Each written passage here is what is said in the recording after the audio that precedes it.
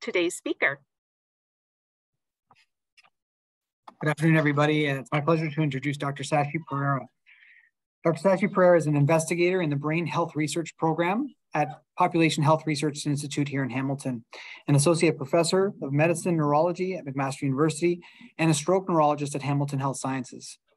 Her main research focuses on secondary stroke prevention, cryptogenic stroke, and uncommon causes of stroke, and the optimization of clinical care in this patient population. She has served as principal investigator and co-investigator for phase two and three clinical trials and is on the adjudication committees for international multi-center stroke and cardiovascular trials. She has won research awards and her work has been published in high impact medical journals. She's the lead investigator in the Young ESUS longitudinal cohort study and CADIS ICAD study. Her research has been funded by HHS, PHRI, and CIHR. Welcome, Dr. Perera, and we'll hand it to you for today's presentation.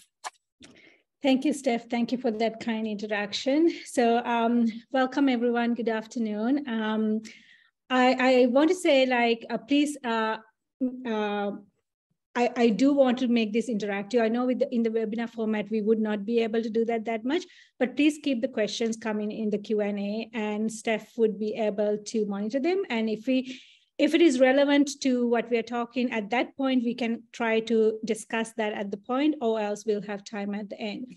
So uh, we'll talk about stroke recognition and etiology of stroke in the young. It's a vast topic and I hope I'll be able to cover some of it at least today for you all. Um, so the objectives for today would be to review the epidemiology, uh, risk factors and causes of stroke in young adults, and I want to discuss an approach to investigating young uh, stroke in the young using case-based pre presentation, a case-based discussion. And anytime, uh, as I mentioned earlier, please feel free to type in any questions. Um, use the Q&A rather than the chat, which will be easier for us to monitor. Okay, so before we um, jump into the etiologies, just to give you some numbers, um, stroke is one of the leading causes of death and disability.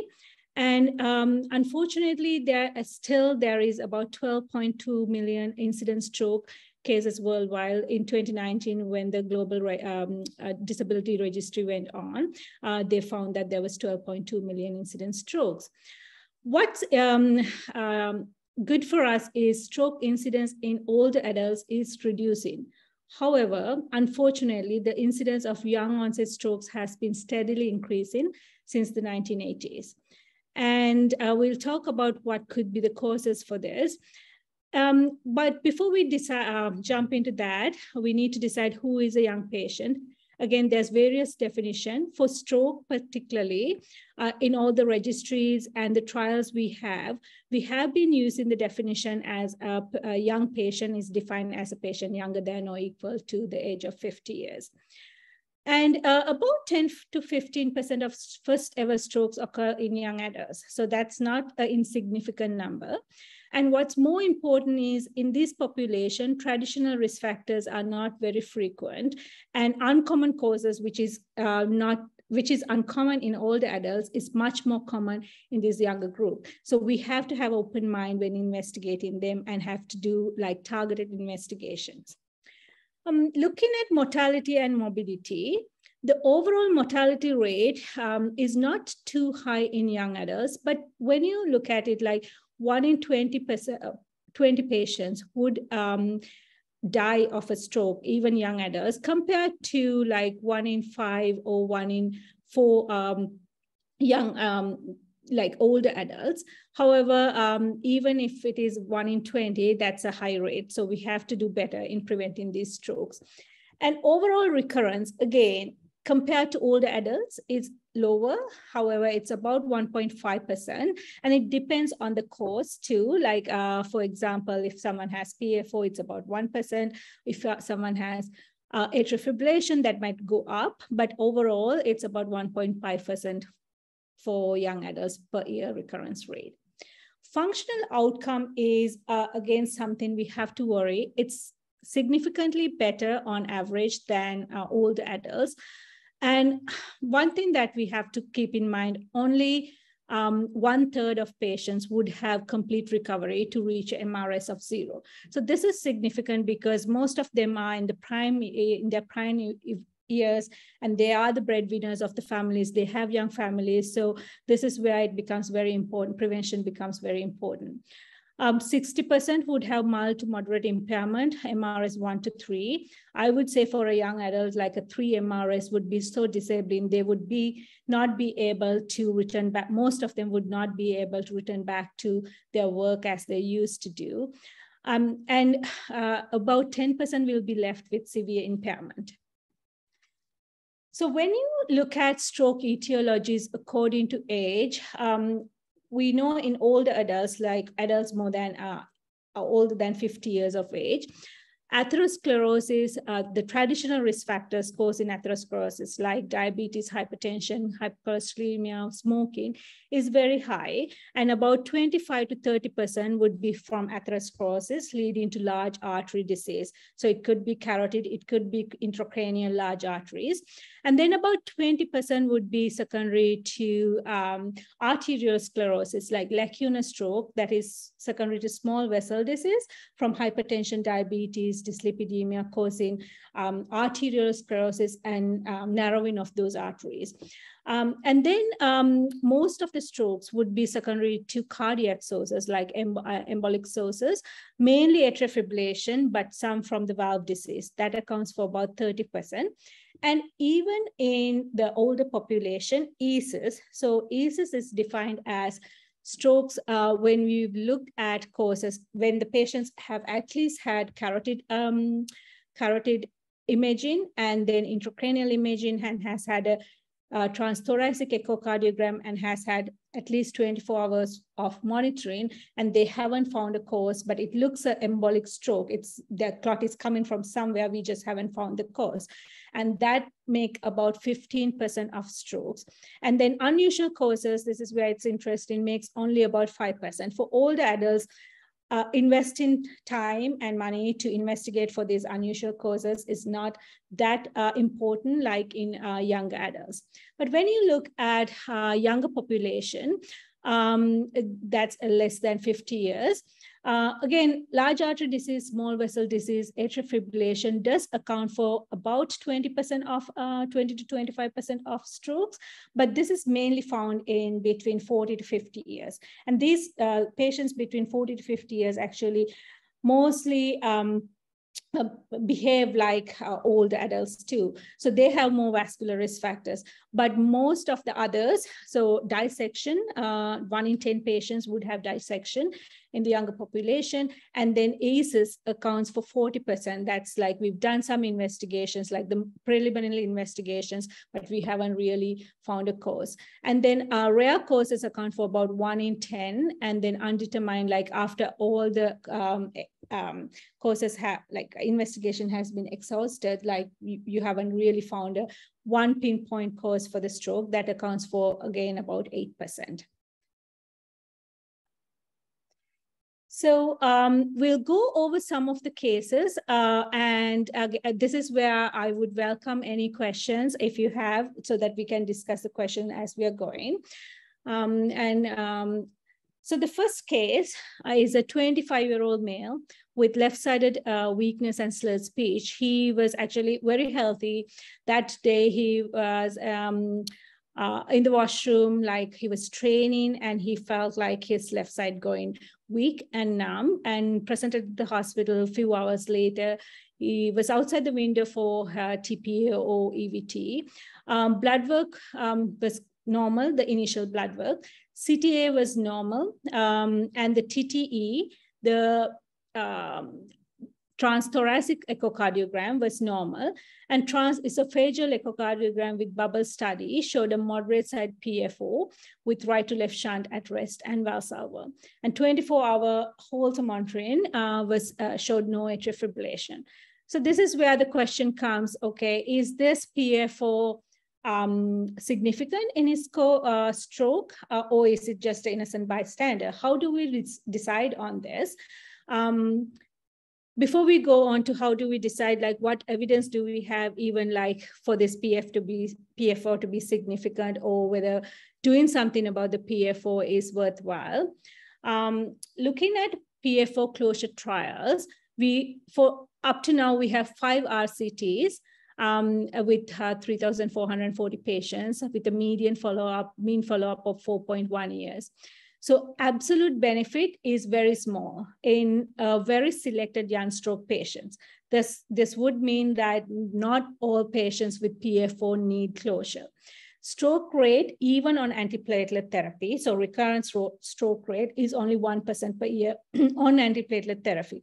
Unfortunately, up until now, we don't have any trials comparing anticoagulation directly, like we don't have good numbers um, for, uh, for P versus PFO closure. So PFO closure actually reduced recurrence risk by um, 58%, a relative risk reduction of 0.42, which was statistically significant. Um, just having something in mind for like, okay, how do we explain this to the patient? So number need to treat it, to prevent one stroke is 38. You have to treat 38 patients over 4.1 years to get a benefit for one patient. Again, even if it is one patient, there's huge benefit. These are younger patients. We don't want uh, rec uh, recurrent strokes. So this is something you have to consider. Unfortunately, there was increased development of atrial fibrillation. So there was a, um, and, and this uh, was relative risk was 4.69 and 70% of them were transient, but 30% was um, uh, non-transient, which means like they had to go on anticoagulation. And number needed to harm was 29. So that this is where we really have to balance the risk and benefit because um, number needed to treat is 38, but number needed to harm was 29. And remember, there was some transient atrial fibrillation too. But so deciding when uh, whether the PFO is just an innocent bystander or pathogenic, as we all know, about 25%, one in four of the population would have a PFO. So most of the time when we find a PFO, it would be incidental. What we need to decide is this 20% who are pathogenic, um, who has a pathogenic PFO. And um, like this says, ESUS plus PFO doesn't necessarily mean a paradoxical embolism. So we have few tools we can use to decide this. Uh, one is the ROPE score. You can um, um, uh, just Google this and the MDCalc has the ROPE score and you can put the numbers in and it gives you the uh, total, like it calculates you, uh, calculates and give you the number.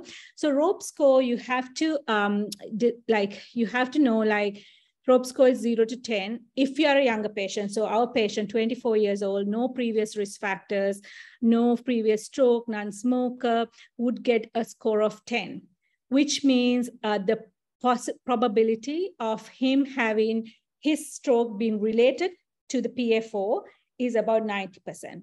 This is not analogous to CHA2DS2-VASc score. I want to make this clear because I've seen people mixing this up.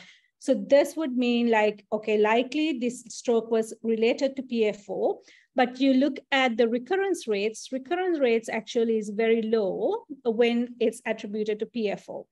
You can imagine why. So if you take um, um, ROPE score four, that would mean either they're older or has other risk factors, and their likelihood of this being attributed to PFO is low. However, they have a higher risk, um, higher recurrence risk. That's because they have other risk factors, not because of the PFO.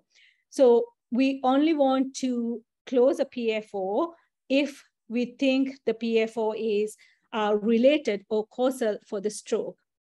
Um, and there's another score we can use, the Pascal score. They actually look, a, uh, take into account the characteristic of the PFO.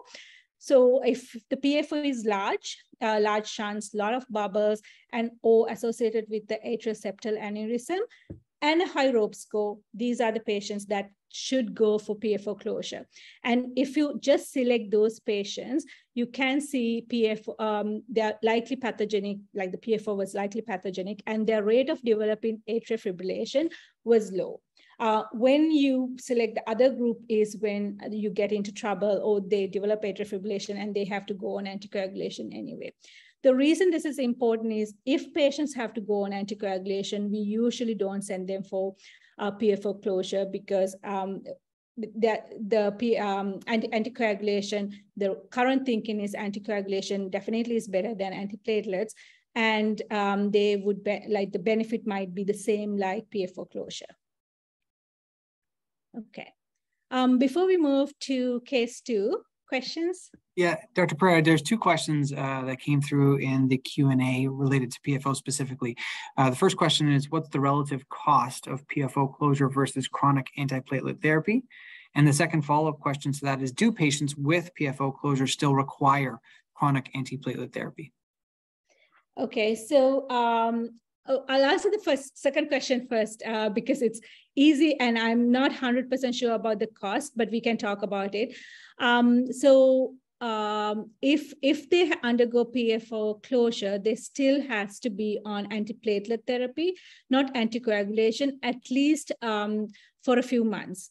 Uh, previously, we were uh, putting patients on anticoagulation um, uh, the first few months, and then um, then no um, uh, no anticoagulation, like then switching to antiplatelets.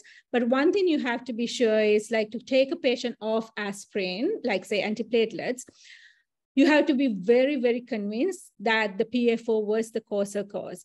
So because yes, they can meet all the criteria for the PFO, and uh, we drop score is high, large shunt, we still close, we close the PFO, but like, can you 100% say there was no other cause? So most of the patients um, do elect to, once they look at the side effects and all that, they do elect to go on, continue on antiplatelet therapy. You don't have to, but they elect to.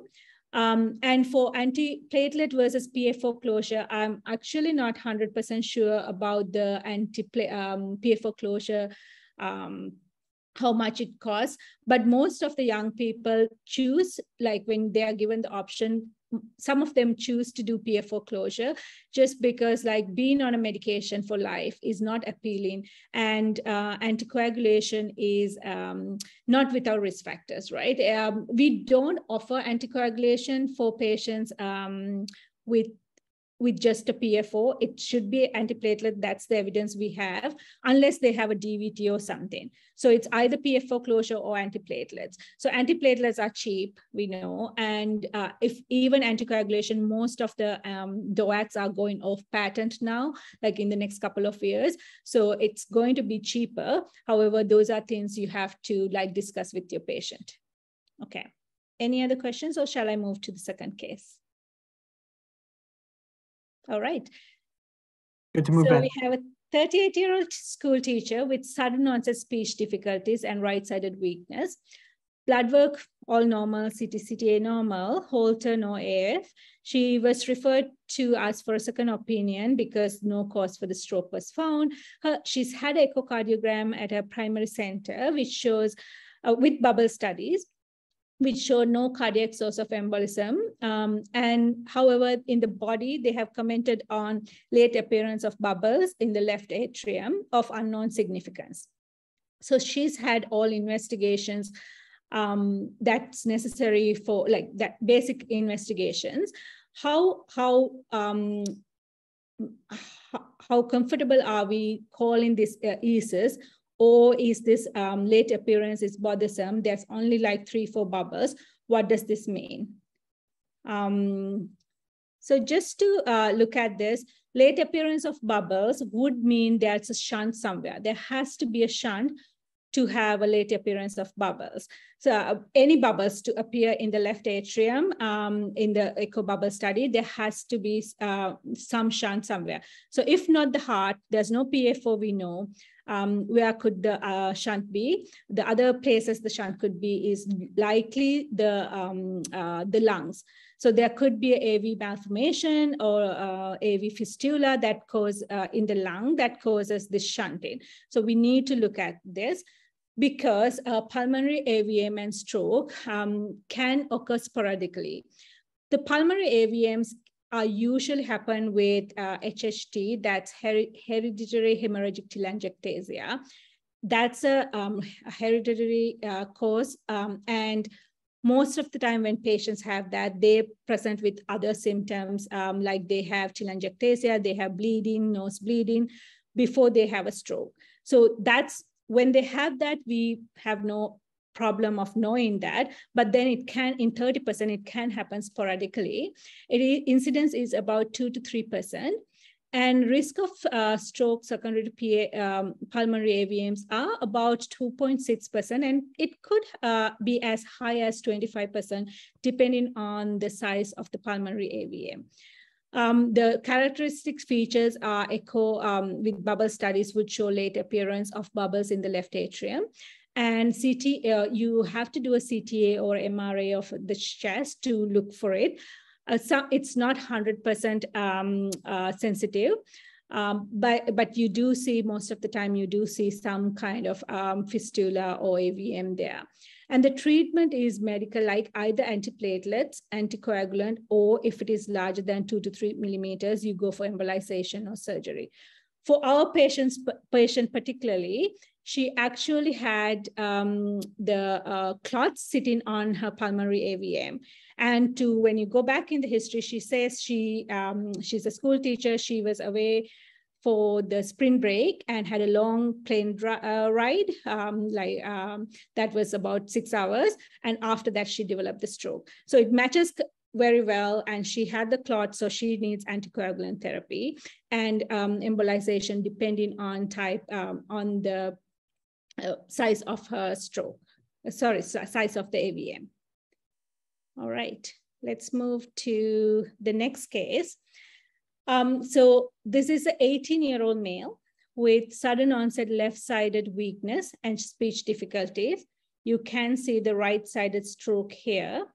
Um, and so he's only 18, no past medical history. His uh, ethnicity is African American and no trauma or substance use. All the blood work is normal. Um, so you, the next investigation after the CT would be for you to do a CT angiogram.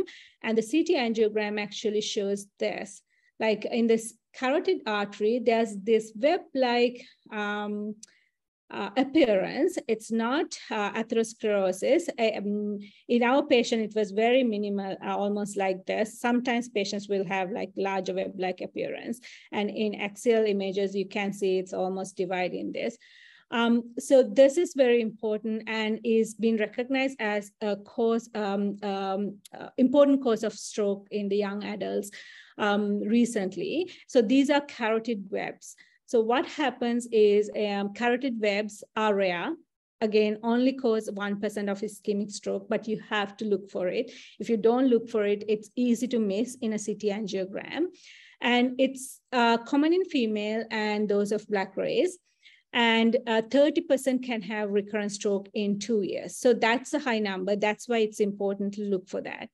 And management is usually medical therapy, antiplatelet therapy. Um, and if you see clots, so how, how this cause uh, stroke is because there's a web, like there's a turbulent flow there and um, there could be clots forming there. So sometimes um, initially you might put some patients on anti um, anticoagulants like heparin if you see clots like a free floating thrombus or something associated with that carotid um, web. And there's new studies looking at stenting versus endarterectomy, especially uh, if they have recurrent strokes. Um, so this is something, uh, another thing that you need to uh, keep in mind.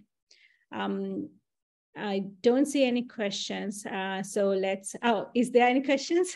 I have one quick question, Dr. Perera. Okay. Um, the question was, is the peak age for hemorrhage of a brain AVM around age 20? Uh, it depends on uh, what what type, why why the AVM happened. So um, ar around that age is the peak age. But say like sometimes people have like Moya Moya disease causing not AVMs, but um, causing like abnormal vasculature in the brain. So those patients would have ischemic strokes initially because they are having like narrowing of the blood vessels slowly. And then they develop these abnormal vessel, vessels and these patients present more with hemorrhage later on in their uh, life. So it depends on why they have the abnormal blood vessels. Okay. All right, so case four, we have a 45 year old female with left-sided weakness and slurred speech.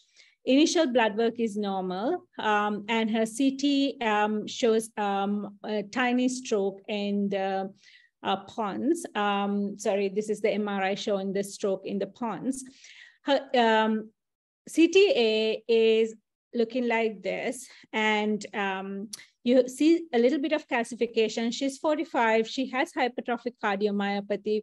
So you are like, okay, does she have enough vascular risk factors to have this calcification? One thing you have to, when you look at this is, when you look at the basilar artery, it looks larger than usual. Um, so when a basilar artery is more than 4.5 millimeters, it's called a dolichoectatic larger uh, basilar artery. That's a little unusual. All the patients, because of atherosclerosis, uncontrolled hypertension, they can have larger um, dolichoectatic basilar arteries, but at 45, it's a little unusual. So um, in her, like everything else came back in normal. And so what do you think the cause of this stroke is? Just, um, we don't have Pauline, but, so, but I'll let you think for yourself. So this stroke in the pons look like it's a smaller stroke, subcortical, could it be small vessel disease? Um, or intracranial atherosclerosis because she definitely has this uh, atherosclerosis here. Um, uh, you don't think it's causing enough narrowing, um, cardioembolic, or would you like more information? If so, what information would you like? Um, just going by here, like just intracranial atherosclerosis can cause like occlusion of these tiny arteries, like these arteries, and cause um, stroke.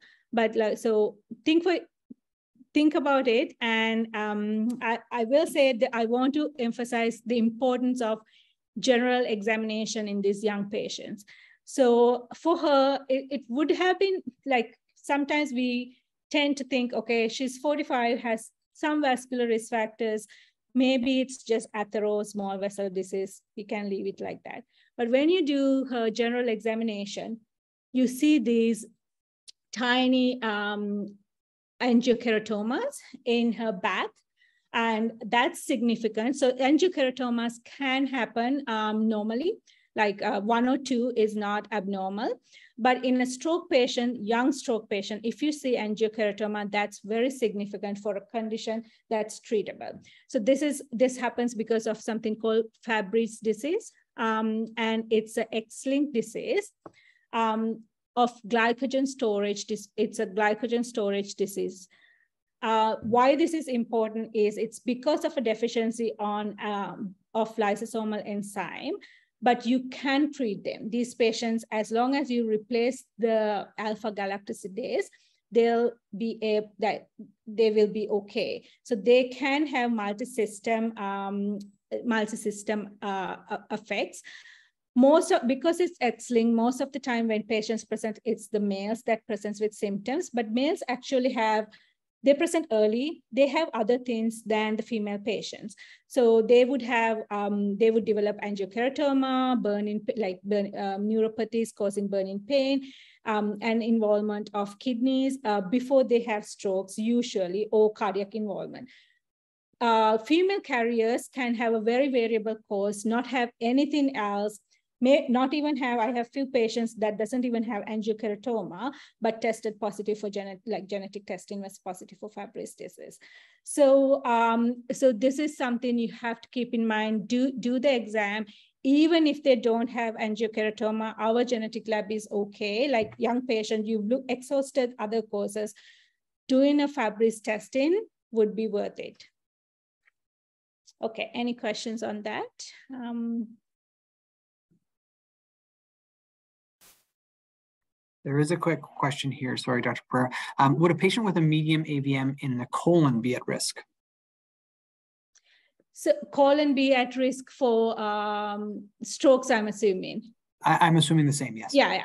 Uh, no, because um, that that wouldn't get shunt like the way shunted the way the um, it's usually the heart and the lung.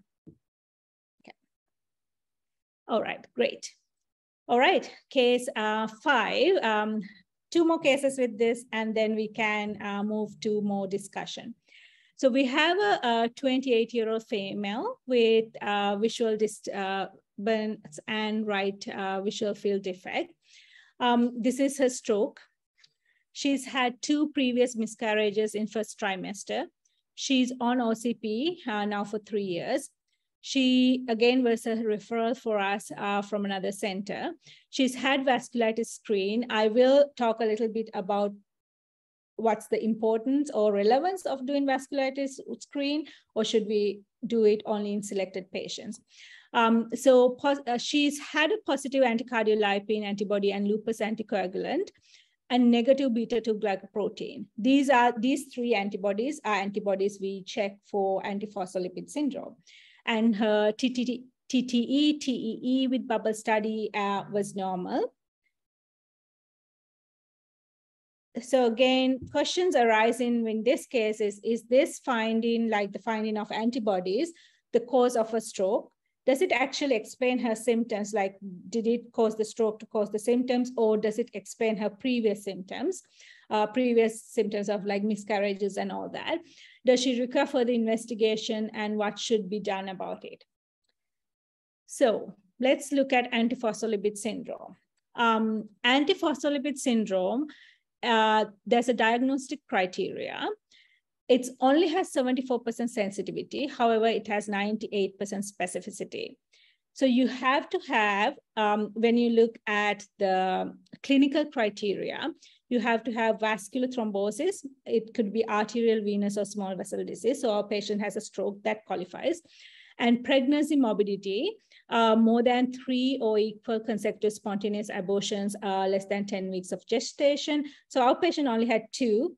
Maybe she qualifies, but maybe she doesn't.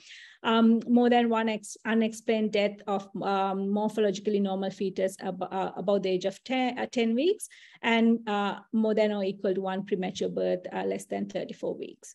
And then the laboratory criteria is the most important because we have to be careful of interpreting these antibodies um, they we have to have two or more uh, blood work positive for antibodies um, 12 weeks apart. Lupus anticoagulant, anticardiolipin antibody, and uh, beta-2 anti beta-2 glycoprotein. The reason we have to have two or more and the percentiles like nine at 99 percentile is it's a common antibody in other diseases. So prevalence of antibodies is, uh, is about 20 to 25% in young stroke patients. It's usually um, low titers and transient. So that's the importance of repeating them and looking at the titer. And even in healthy adults, 1 to 7% of young individuals and 12 to 50% in older patients would have these antibodies. Transient usually and low titers you, most of the time and common and they can be commonly found after acute or chronic infections like most of the like 30% of children after viral infection and um, and uh, mycobacteria syphilis malaria almost any uh, viral or mycobacterial infection can cause uh, transient rise in the antibodies. And some medication we use can cause like um, neuroleptics, quinidine, procainamide, and um, even OCP. So this patient, our patient was in, on OCP, that can cause a rise in antibodies. So how does, um, how does APS, antiphospholipid antibody, cause um, stroke? It causes stroke by two mechanisms, either thrombotic or embolic. Um, very, very rarely they cause a vasculitis. That's very unusual. If you think it's a vasculitis secondary to antiphospholipid antibodies, that's probably not the diagnosis. And it can be associated with Moyamoya syndrome, where your blood vessels narrow down slowly over time, like the carotid arteries, and um, closes off. They develop new uh, vasculature when this happens, but they are prone to ischemic and hemorrhagic stroke. Um, so presence of lupus anticoagulant and anticardiolipin antibody uh, causes twofold increase of first ischemic stroke. And anti-glycoprotein antibody causes twofold increase in, in MI. Each ad additional positivity, so if we have uh, two compared to one, is associated with 50 to 70% of odds of arterial or venous thrombosis. So in our patient, she, um, 12 weeks apart, she did have um, the, she did have uh, the antibody still persistent, very high titers, and patient had the two tri uh, first trimester uh, um, miscarriages and also the arterial thrombosis. So we were very comfortable saying, okay, this is APS. Um, second, what do we do with secondary prevention in APS? Um, unfortunately, in stroke population, there hasn't been um, definite trials. However, there's consensus statements and um, there's studies on other patients like patients um, being affected, kid, kidney patients like APSA, APLA patients with other diseases, not stroke. Uh, and there's a consensus about uh, among hematology and rheumatology on um, and guidelines recommend warfarin in these patients. Um, they should not be going on DOACs. That's one of the main contraindications for DOACs because there was a study, TRAP study, that compared DOAC versus warfarin in antiphospholipid antibody, and it was negative. Um, rate of recurrence is highest in these patients if they have triple positive um, uh, antibodies. It's about 30% recurrence over six years. So you have to, these patients have to be on either antiplatelets. So for primary prevention, they usually go on antiplatelets, but for secondary prevention, they go on uh, anticoagulation. And not DOAC, but warfarin. Okay, I think we have the last case. Um, we have a 26-year-old female, very healthy, she was actually uh, playing football and uh, was knocked on the head by the ball and developed blurred vision and headache. Next day develops confusion, bumping into things on the right side, so mild naming difficulty. She's not, um, she, she, nothing was sudden onset. She just developed having this. And then she has, there's a family history of um, hearing loss, and she also developed hearing loss around the sensory neural hearing loss around the age of 20. Um, hasn't really been, eh, she's been investigation, but they couldn't find a cause for it. it. Other than hearing loss, uh, the family history is non-contributory. Her parents are like um, average height. We'll see why I said that. And she, when um, she had an echo, she has a um, hypertrophic cardiomyopathy and her uh, blood work is normal. However, her HbA1c is 7.7. She's not a known diabetic. And this is a CT scan. This shows like bilateral calcification in the basal ganglia and the pulvinar area. Um, and her MRI shows a um, DWI restriction in the occipital region, maybe a tiny bit of restriction here too. So this is very unusual for this 26 year old to have hypertrophic cardiomyopathy and diabetes um, and hearing loss. So what do people think this could be?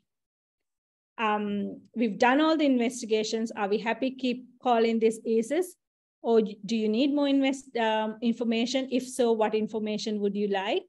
And um, is this cardioembolic stroke, Fabry's, because we talked about hypertrophic cardiomyopathy with um, Fabry's, or is this the entity called MELAS, which is mitochondrial encephalopathy with lactic acidosis and stroke-like episodes?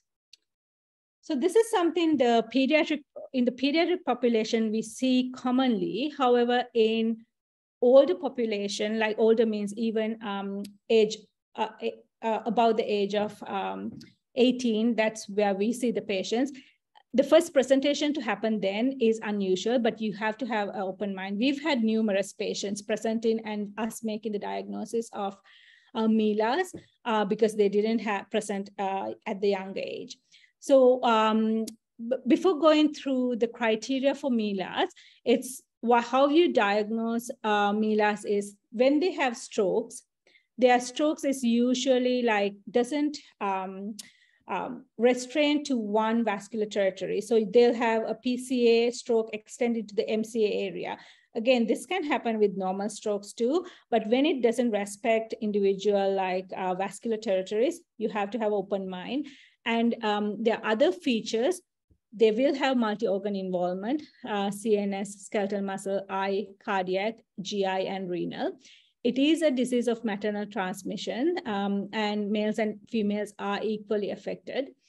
So uh, usually the stroke-like episodes occur uh, at the age of, uh, before the age of 40. Why we call these stroke-like episodes and not stroke is this is because of mitochondrial failure and they wouldn't usually, if we treat them um, uh, early on, they does not develop infarction. It's just ischemia that's reversible. So that's why it's important to recognize this.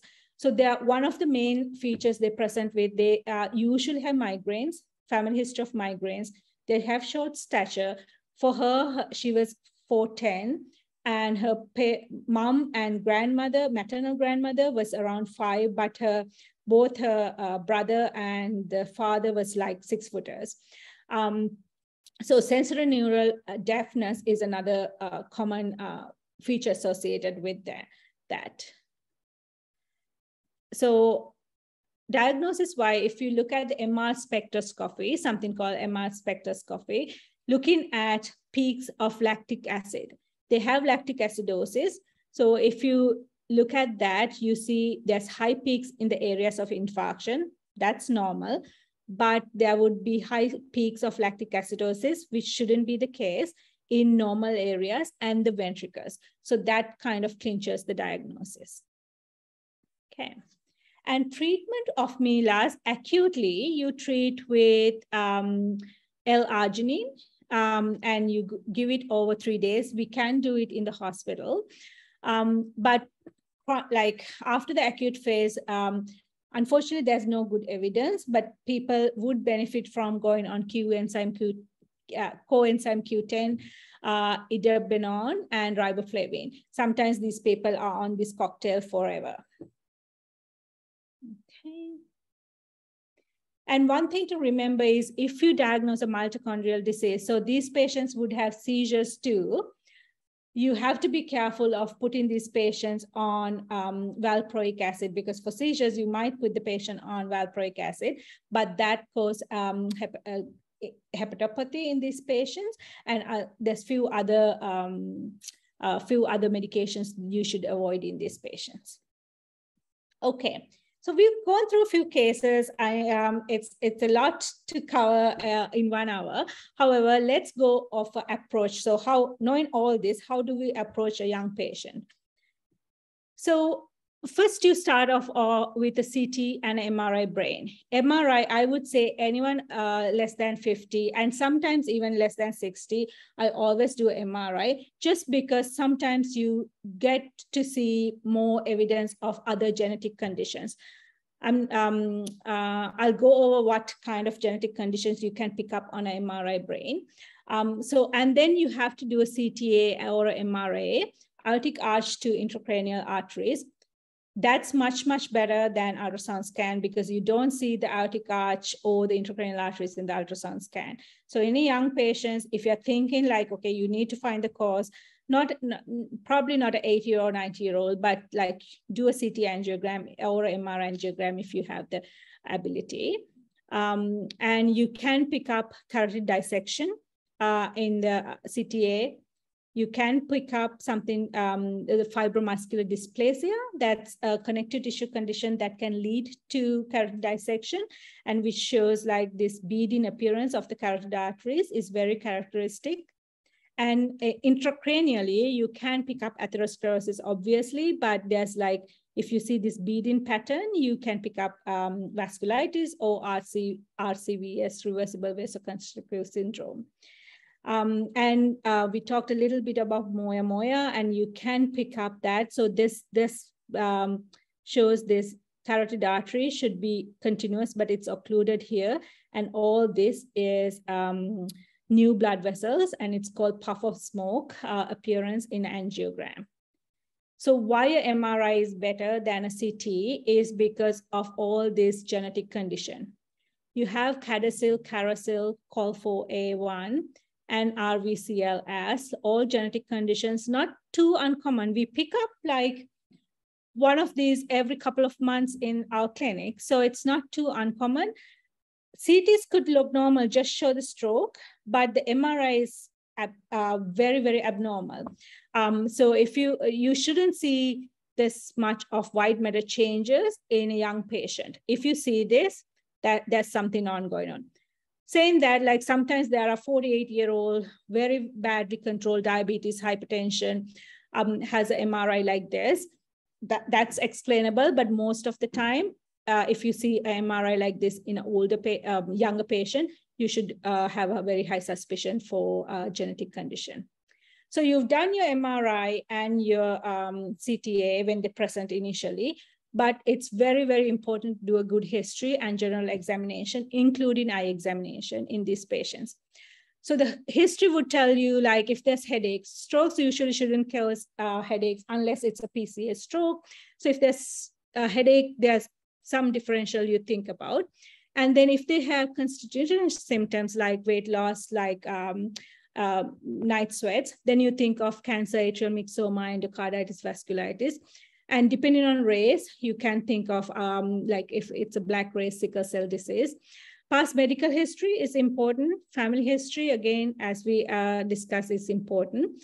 And physical examination is very, very important. Short stature, tall patients, you think of Marfan's, and skin lesions, Fabry's vasculitis, um, eye examination, if you are not comfortable doing it, like if they have other characteristics, sending them for ophthalmology testing is very important. And then of, obviously imaging, we talk about that.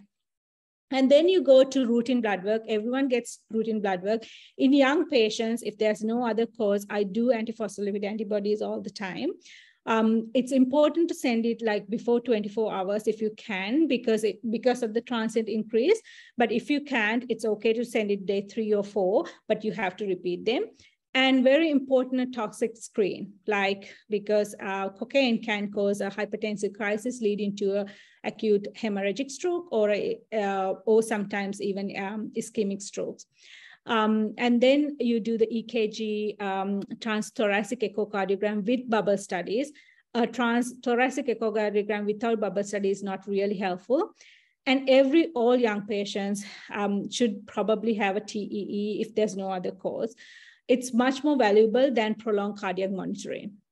And additional blood work uh, has very low yield don't do thrombophilia screen, uh, protein CS, like, so unless they have a PFO or right to left shunt, there's no point in doing thrombophilia screening because these patients would not, would only have venous um, infarcts. They wouldn't have arterial clots. So don't do it. And if there's no history suggestive of vasculitis, doing all this and autoantibodies is not helpful, like just cause, uh, just costly to the system. And even syphilis, HIV, depending on their risk factors. Um, and sometimes if you feel like the patient is not forthcoming, yes, doing that makes sense.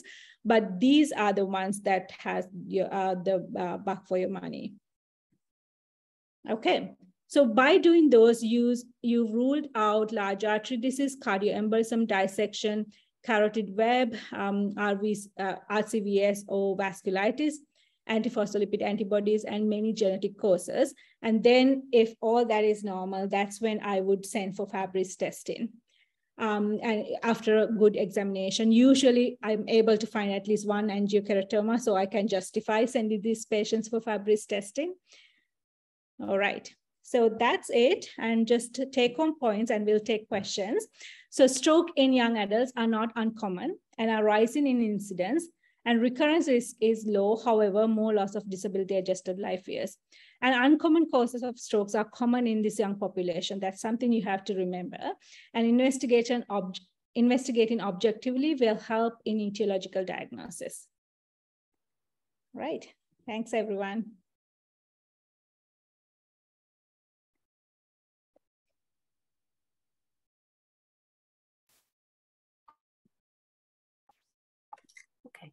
Well, thank you. Uh, we do have about 10 minutes left. If anybody is um, would like to either raise their hand and ask a question, um, verbally, or if they would like, I see another one has been added to the Q&A. Yes, I'm we actually just had a going couple, to stop share so that we can see each other and have the discussion. we have uh, had a couple of questions come in, Dr. Perera. So um, first question is, what about, and uh, my apologies for my pronunciation, Marchiafava big bignami in young patients? How would that differ from other causes like Carticil, et cetera? You mentioned an MRI. Yeah, so that's usually the MRI has characteristic findings. There's corpus callosum involvement in that condition. So um, that's that's where you would say, okay, this is there, there's more um, genetic conditions that we didn't talk about. Um, these are the, the ones I mentioned are kind of the uh, common. Uh, they are very, they're not common, right? They're rare, but from the rare, they're the more common one. But again, that Marchiafava would have um, the characteristic corpus callosum involvement. And there's a few other conditions that has that. So you have to keep an open mind. So, but if the MRI shows that, that that's something you would think of. Thank you for that. The next question is a clarification from one of the attendees asking if you had said that RVCS is hereditary. No, it's not. So reversible uh, vasoconstrictive disorder is a reversible condition, obviously, as the name stands. It's secondary to usually due to many medications. Many of the medications we use um, have uh, these um, um, cause vasoconstriction. So these patients present with thunderclap headaches. Uh, it's very important to know like thunderclap he headaches would be a headache that maximize its intensity in one minute.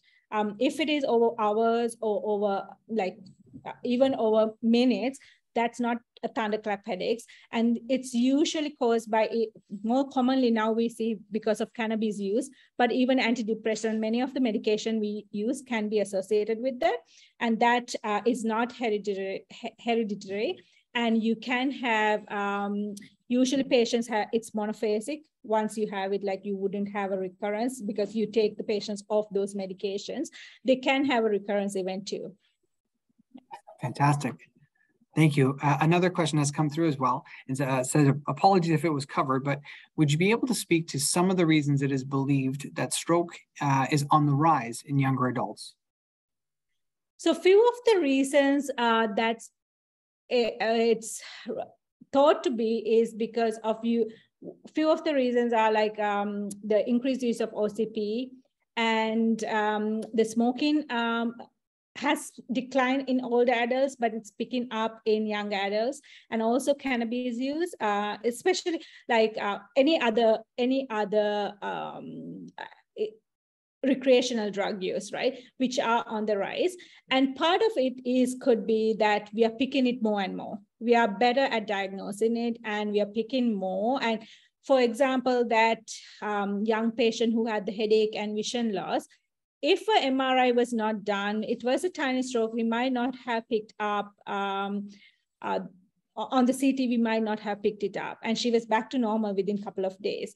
So that's probably because we are comparing data from 1980s, saying that we are comparing data for old adults too. So they are definitely decreasing. So we know it's increasing. And uh, um, it, the main reasons are thought to be OCP, smoking, and recreational drugs. Thank you for that. Uh, there's a, another question that's come through. Um, are young patients with acute neurologic symptoms versus those uh, over the age of 50 more likely to present with stroke mimics? So that's what we think, right? So that's where we have to be care very careful because a 28 year old presenting with, uh, say, even vision loss, stroke would be the last thing uh, in our mind. We'll think of demyelination like MS, even if they present with weakness we'll think of demyelination, something else, AVM, like, like a ICH maybe, but uh, rather than oh migraine without with hemiplegia, rather than a stroke, because we are trained that way and we all feel fall to this trap of thinking like, okay, all the patients, even when they have a migraine, we want to rule out a stroke. Um, but younger patients, we have this like thinking, okay, they're not unlikely to present with uh, stroke. So having that open mind, getting the history, like acute onset, like sometimes they don't present with it has to be acute, but in MELAS, like they don't have to present accurately. So having that open mind, doing the necessary investigations, most of the time, like um, young patients, sometimes like if it's a large stroke, they also have seizures with that. Um, so we've seen them like they get intubated because of that and the examination is deferred because stroke, we are not thinking of stroke. And then um, later on when they have a CT, when they're not waking up, we realize, okay, this is, this is, there was a stroke too. So these are some things you have to think about. Thanks, Dr. Perera. There's one more question that has come through here. I think we have enough time to uh, to answer it. Um, uh, one of the attendees today shared uh, a, a, an experience with a patient who um, had a young patient who was admitted with, admitted with stroke and diagnosed with MELAS as the cause for the stroke type symptoms um, was on treatment for MELAS, but ended up with recurrent strokes and um, uh, led to an outcome of being wheelchair bound in less than a year with dense strokes and seizures. The question is, is there any prognosis related to MELAS? So that's a very good question because MELAS presentation is very variable. I have patients in their 60s presenting with their first episode and being diagnosed with MELAS compared to, as you said, like a very young patients who it depend it depends on their genetic variants, like how much um, um, how how many coding uh, differences they have. So some people present, and uh, so that that would tell you the prognosis actually. Um, it, it, uh, it so I find the geneticists and the um, metabolic clinic uh, people very helpful in letting me know like, okay, what can we expect uh, in this patient depending on how many variables do have eh, they have in their genetic um, makeup. Uh, so that that's how you do the prognosis. Most of the time, yeah, by about 40, 50, they can have problems, like significant problems, even though uh, the stroke-like episode is reversible. But, but as I said, I have patients in the 60s, 70s that we diagnose with uh, mitochondrial disease and hasn't had any problems up until then. Thank you, Dr. Perez. There's no further questions in the chat. Okay, great. Okay, well, thank you. Yes, thank you again, Dr. Perera, this excellent start to our education series and also to the audience um, for all of your active participation. So an evaluation link has been sent out um, we would ask that you would consider filling it out because the feedback um, really is the main driver in planning education. And uh, there are eight, uh, yes, eight, re eight uh, remaining sessions. And so we're looking forward to welcoming Dr. McIntyre uh, to speak on stroke recovery and trajectory for the young patient uh, next week. Okay, so thank you to everyone again, and we'll look forward to seeing you next week.